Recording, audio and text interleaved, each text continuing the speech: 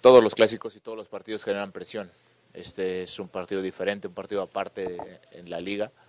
Entonces en, en América tienes que estar acostumbrado a eso, a la presión, a que siempre se le exige más que, a los demás equipos. Entonces nosotros estamos enfocados en, en eso, en, ganar el clásico, que es lo más importante, para así mantenernos en la cima de la tabla, de la tabla, perdón. Todos somos responsables, ¿no? De tanto los que jugamos como los que no jugamos, como los que están lesionados.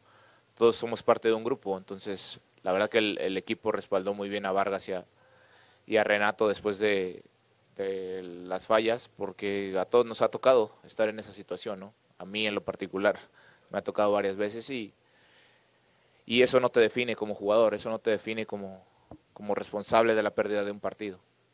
Primero, has analizado todos los partidos, supongo. ¿De qué forma juega el equipo? ¿Con qué pero ¿con qué formación juega el equipo? Formación. Ok. ¿Y sabes la función que tiene que hacer cada uno? Ok, bueno. Creo que todos, en lo particular y en la vida de cada persona, tiene equivocaciones, siempre. Lo importante es saber corregirlas. El equipo se mostrado de una forma y ha generado muchísimas opciones hacia adelante. Ha tenido equivocaciones en, la parte defensiva, estoy de acuerdo, pero todo pasa por un tema de, de concentración y desatenciones.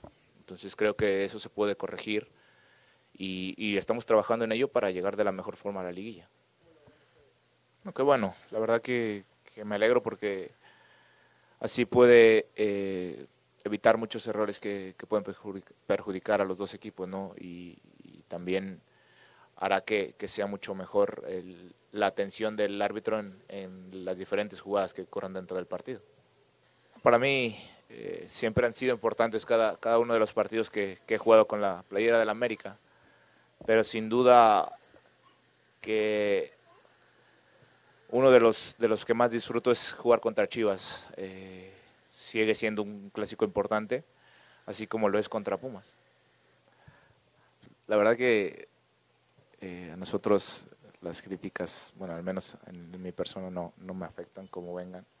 Sabemos que es una oportunidad importante para nosotros mantenernos en, en, primer, en los primeros lugares, que si ganamos y se combinan otros resultados, podemos eh, estar de, líderes. Entonces, eso es lo que más nos interesa, ¿no? No, no nos interesa tanto lo, lo que hicimos en el partido pasado porque ya pasó, ya no lo podemos solucionar. Si estuviera en nuestras manos hacer algo por, por el partido de Copa que, que perdimos, lo haríamos. Tengo por seguro que cada uno de mis compañeros haría lo necesario para, para poder eh, revertir esa situación, pero ya no se puede. Entonces estamos de frente a un clásico que nos catapultaría más a, los primeros lugares y embalarnos bien a la, a la liguilla, que es lo que, que, es lo que buscamos.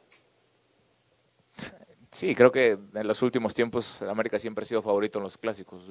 Antes de que me tocó estar acá, así ha sido. América es el que propone los, los partidos, el que va y busca los resultados independientemente de, de cómo esté en la tabla.